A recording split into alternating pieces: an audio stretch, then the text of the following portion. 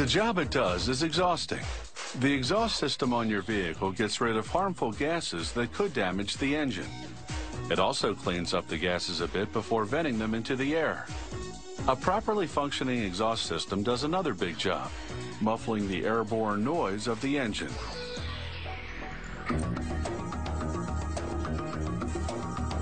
It's a system of metal tubes and plates we only seem to notice when it breaks down. And when it does, everyone can hear it. To make an exhaust system, a mechanical puller draws a stainless steel strip up into a punch press, shuffling it back and forth to allow for a precise cut with little waste.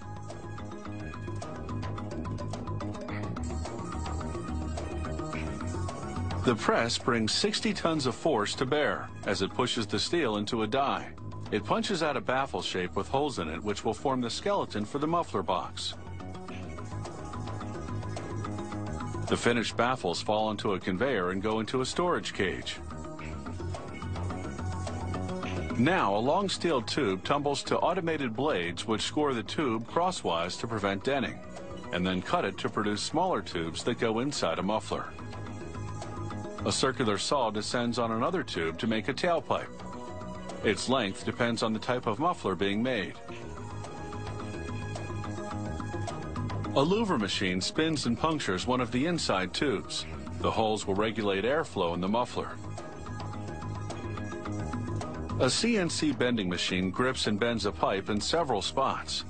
This is how they make inlet, intermediate, and outlet tubes. These tubes run the length of the exhaust system.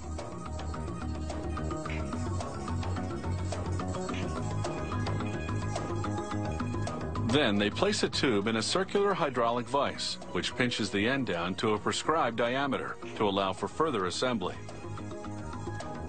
A worker now places two baffles in a jig. He fits the tubes through the holes in the baffles so that the tubes connect the baffles. Three mandrels slide into the tubes. The mandrels expand, locking the tubes to the baffles. Then they contract and slide out. Now the baffles and tubes are one piece. Next, a robotic arm picks up metal sheets which will become the outer skin of the muffler box. It pushes them under an oval mold. Another arm with numerous rollers on it moves up and wraps the steel around the oval form.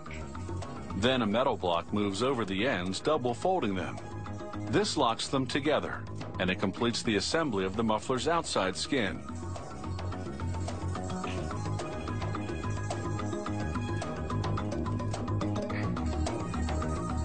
Magnets pick up the new skin, and sliding on rails, they relay it to a mechanical claw, which in turn feeds it to a flanger. The flanger bends the edges, creating a lip on either end of the muffler skin. A carousel turns, and a mechanical claw transfers the newly flanged muffler skin to the stuffing position.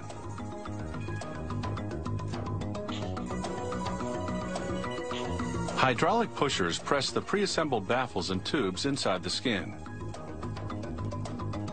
After the muffler is stuffed, the robotic claw transfers it to a conveyor belt.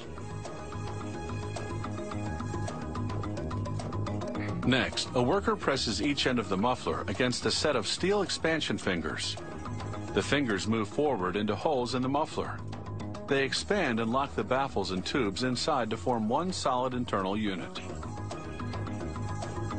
Grippers place the muffler on a spinning machine that will fasten the caps on.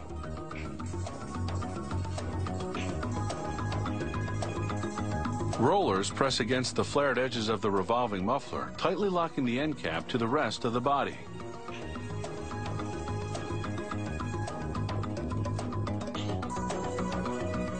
Here you see the rolling in slow motion. It takes only a few revolutions to do the job.